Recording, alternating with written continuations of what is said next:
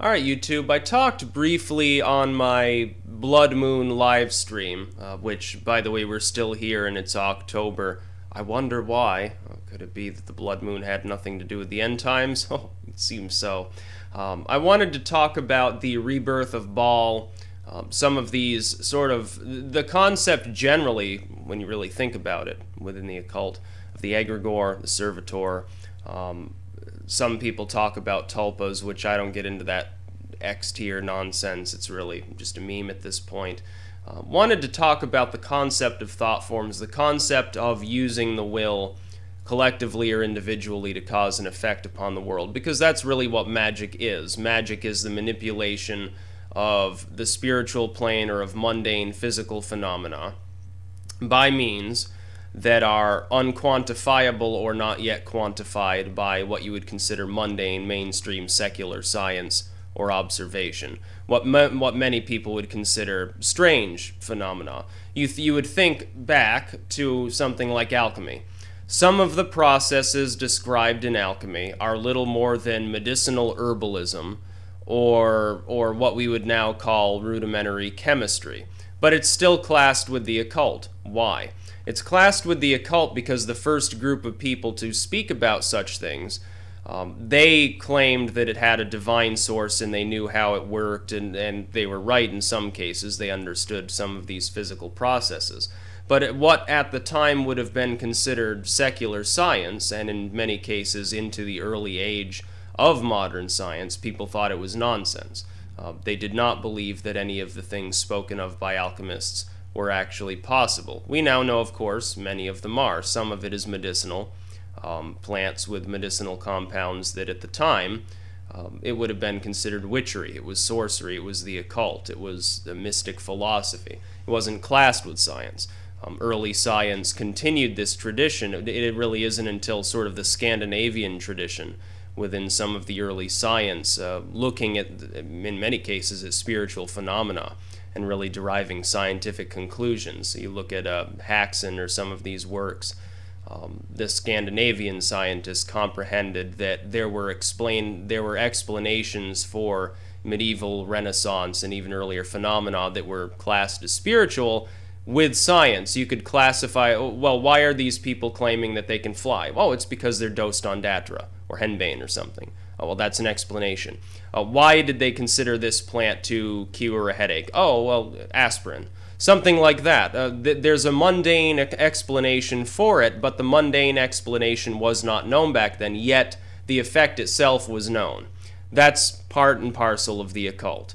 Um, the concept of transmutation within alchemy, of course, you can't transmute minerals together uh, by boiling them and, and putting herbs in them and, and chanting over them. That's true, but you can in a particle accelerator.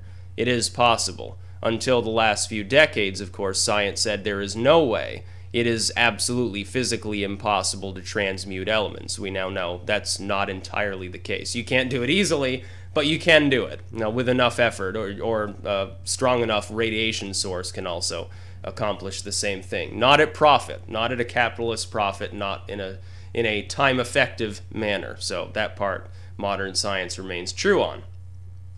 The concept of the thought form is quite simple. It's simply psychological energy. I return to this topic again um, after some time of not speaking about it. The concept of these deities being unleashed upon the world, or these demons, however you wish to class them, being unleashed upon specific groups of people. Uh, you can think of it as simply a, a, lingering energy, sort of the theoretical physics aspect, or you can think of it as divine retribution, sort of the more antiquated aspect. It doesn't really matter how you regard it. When we observe that such is the case, it appears to be true. There is an attempt right now um, on the internet, and previous attempts appear to have worked, uh, to sort of uh, restore the sort of paganistic elements that are present in early antiquated Middle Eastern lore, Baal and some of these other you know, Nungal, Humbaba, or Nergal or something, uh, to restore these sort of pagan energies to the point where they can have an effect. Uh, you can look at this one of two ways within secularity. Either the collective thought form is influencing reality and causing some sort of an effect, possible. Uh, there is evidence to suggest that that can actually happen. The other possibility is you would expect the people that are sort of the target, specifically in the Middle East, ISIS, Islamic rebels in general, um, will see that this activity is going on bec- because they're superstitious. They will begin to worry about it and then they will make mistakes. Either way, it doesn't matter. It achieves the same effect. Or again, you can forego the secular, say this deity in some form or manner actually exists, whether we're talking about a, a detached sort of cosmic energy or an intelligent being, and then upon veneration, upon recognition of this being, it gains power, capabilities, and is capable of moving in the world. I would say. Um, any of these explanations are just fine, it doesn't matter. But there is an attempt right now to revive the worship of Baal. Now, Baal is sort of one of these misunderstood figures within paganism and the occult. Many people just assume it's sort of this cow headed demon uh, to which people routinely sacrifice children. There's no evidence to suggest that that sort of sacrifice was frequent. Most of those speaking of such things come from after the worship of this being was rare, if, if even still extant. Um, they come from latter day sources, specifically Jewish and Christian sources. What do we know about the Jews and the Christians? Typically, when they encountered some sort of foreign deity, it transformed them into a demon, put them into their own sort of pantheon of, of lesser beings subjugated to their lord, um, classed them as evil, classed the people who worshiped them as evil, because although they were monotheistic in their practice, they believed in one specific male Abrahamic deity. They were also henotheistic. They believed that those other divine forces existed. They didn't disbelieve in them. They didn't do what the Christians do now and say, well, Zeus never existed, has no power. Uh, Baal doesn't exist. Astaroth's not real. Um, guy, all of these different pagan deities, they never existed. They don't exist. They never will exist. There's no power in them. That's that's a Protestant practice. The Catholics early on and the Jews before them and sort of the Nazarites and all of these different groups, they all believed that these other deities in some form existed. They simply didn't worship them. They didn't venerate them. They considered them maybe subjugated to some other part of their own pantheon to sort of declare hegemony over the spiritual forces of one of these neighboring groups, but they never disbelieved in them. They simply subjugated them, or they said that they were evil and then fought against them. That's what the henotheists did. That's what the Jews did. That's what the early Christians did. Only later on with, with the Protestant religion do you get sort of the renunciation of the idea of this extremely elaborate paganized pantheon of deities. Look at Dante's work. Where do the virtuous pagans go? Do they go to hell? No, they're not in hell. They're being ruled over by this sort of paganistic figure of King Minos, living in a city of light, living in a, um, under very comfortable circumstances, actually. They're not being punished or tormented. The only thing that they've suffered as a detriment is they're not with God. They happen to be um, the light of humanity is their guidance rather than the light of the one true deity and his various angels and archangels and cherubim and seraphim and so forth. That's the only detriment that they suffer. This is sort of the Catholic answer to the modern Protestant uh, sort of material. And so the rebirth of these pagan forces or beings or figures or whatever you wish to call them is an active project of some of these occultists. There's a rebirth in Hellenism right now. There are people that venerate Zeus and Aphrodite and all of these other figures right now. There are people that are are now members of various Roman cults. They worship uh, essentially the same beings under different names, and Jupiter and so forth. Um, there are people who worship Odin. They don't do it ironically. They're not doing it as uh, as you know, something just to do. They don't do it as a form of entertainment. They see it as part of their culture. They feel it gives them power. They're right. Um, they are beginning to rebuild these temples.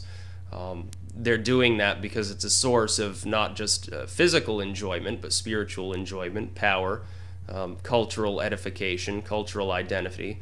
And this is going to continue becoming more prevalent as the Western cultures, especially, and to a lesser degree the Eastern cultures break down over time due to the evil of multiculturalism, people are going to more and more seek these sort of folkish traditions. it's happened before.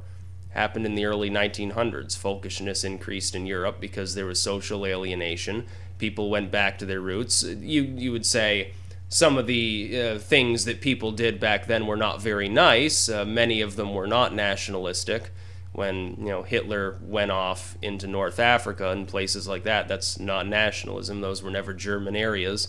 That was imperialism, which was tolerated up until then. Nobody had a problem with imperialism until Hitler did it, which is very funny. Um, the Russians invade their neighbors. Up, oh, nobody cared, even if they're commies. That was imperialism, not nationalism. Nationalism is Germany and Austria form one state because they have the same culture. Imperialism is they then uh, attack Poland for no reason uh, and declare Lebensraum. Two totally different concepts.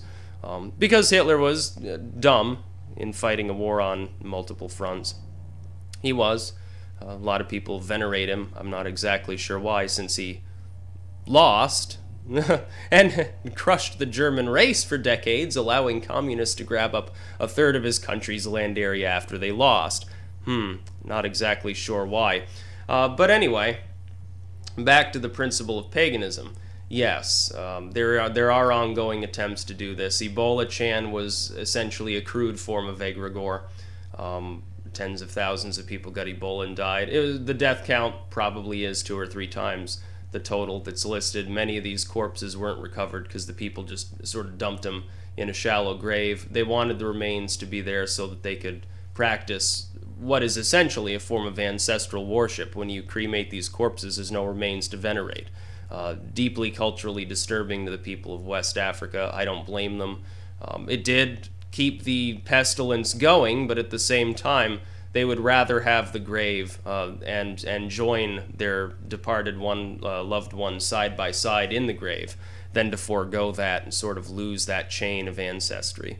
Um, you've got to understand the, the cultural impacts of something like that. When foreigners show up and say you have to burn your relatives' bodies when you have a fairly strict cultural prohibition against doing so, that's going to be a fucking problem. They should have known better. They should have found some other way to cordon off the bodies other than cremating them. They, the international community was partially responsible for the problem in the increase in Ebola cases because they refused to take care of the bodies without fully immolating them. It was partially their fault. That's one thing that I would claim.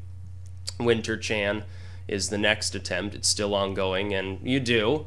Right now, um, oddly enough, Europe is bracing for what could be the worst winter there in you know 50 or 100 years. So it does get a little, it gets a little bit into the too spooky for me stuff. That's very much true. Oddly, here in the Northeast, right now we're 10 degrees above normal. I feel just fine. Uh, you go bother the Europeans. We want a nice mild winter. You know, we don't have a problem with, uh, you know, a million refugees practicing Islam in our country at the moment. So leave us alone. Go go play around in Europe and you know, soak them in icicle cum or something like that. So yeah, some thoughts on you know the general concept of thought forms, egregore, and so forth. An egregore, basically, you've created this thought form and it's gained partial sentience as opposed to a servitor, which is not really sentient, maybe to a limited degree. There are multiple terms that are sort of used here. Uh, you could even say that all cosmic beings, as they're referred to by the occult and by religions, uh, really are different classes of this same concept. You'd have to believe so. If you believe that it's the thought form creating the sort of divine energy or occult capability, you might as well extend that to deities and demons and things like that. It makes no sense to simply relegate it to your own actions and then say, oh, but those rituals are special because I'm communicating with a truly outside pre existent entity. How do you know that? Um, if you're claiming that about the former, you may as well claim it about the latter. And if not, you may as well claim, if, if the demons and the deities and all those forces are real, you may as well just claim, yeah, I'm doing literal magic here. It's not about a thought form. I'm tapping into the occult current. I'm tapping into the sinister current. You should regard it as one, if you want to be a purist, regard it as one way or the other. You're sort of mixing your terms up when you speak about these two things. You're sort of mixing the post Crowley age or Blavatskyan style of thinking, the sort of semi modern to modern material. You're sort of mixing that with like Renaissance and medieval era works otherwise doesn't make a whole lot of sense to me. It makes more sense to remain pure within one of these two general strains of thought regarding how the occult actually works. Uh, for those who wish to learn more, you can simply Google egregore and you'll get a great deal of information. Or just go on 4chan's X, um, where you will be told all about secret wizard cults and then you'll be laughed at and find a lot of people shit posting. X is a pile of shit. Go to politically incorrect if you want actual occultism, which is probably the funniest thing on 4chan. You have to go there for the occultism. On X, you're just hearing creepy pasta. Very funny to me. That's about all. Peace out.